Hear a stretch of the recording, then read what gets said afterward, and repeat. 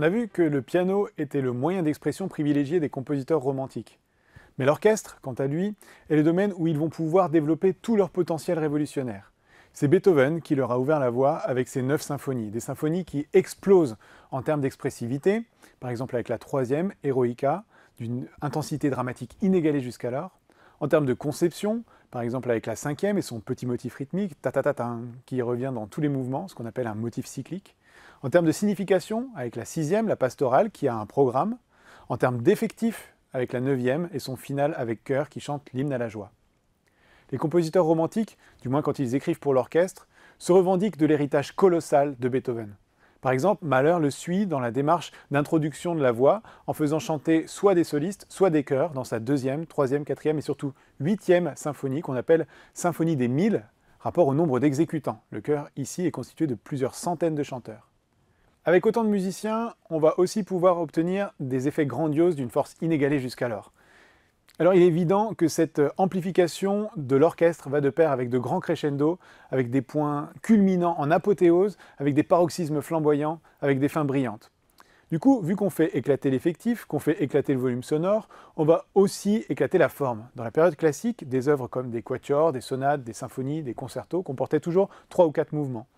Dans la période romantique, si la plupart des œuvres restent dans ce cadre-là, d'autres sont conçues en un seul mouvement, comme la sonate en si mineur, pour piano seul de Liszt, toutes d'un seul tenant pendant une demi-heure de musique, ou alors en 5-6 mouvements, par exemple la deuxième symphonie de Mahler comprend 5 mouvements, la troisième symphonie en comprend 6. Mais penser que la musique romantique est uniquement dans le grandiloquent, une espèce d'énorme barouf à n'en plus finir, ce serait pas lui faire justice. Parce que c'est aussi à cette période qu'on va affiner les couleurs instrumentales. L'orchestre n'est pas seulement utilisé en bloc, on se met à individualiser les timbres, et dans le même esprit, on introduit de nouveaux modes de jeu. Pour les cordes, les pizzicato, quand on pince la corde.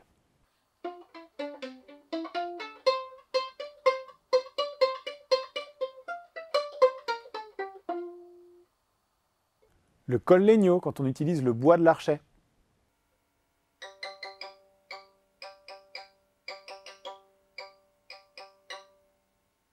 Les sons harmoniques, ce sont des sons vaporeux et suraigus.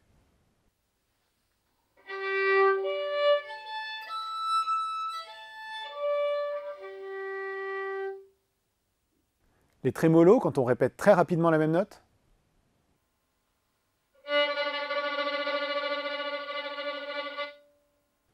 Et puis aux cordes, comme aux autres familles d'instruments, la sourdine qui étouffe le son.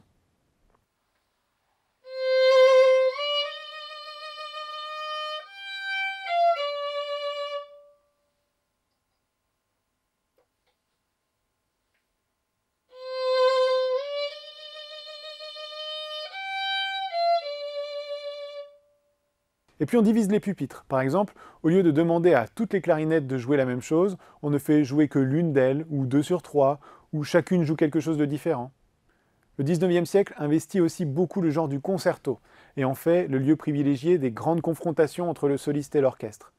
L'instrument le plus mis à l'honneur, c'est le plus orchestral de tous, le piano, servi notamment par les compositeurs pianistes que sont Chopin avec deux concertos, Schumann un concerto, Liszt deux concertos, Brahms deux concertos, Grieg un concerto ou Saint-Saëns cinq concertos.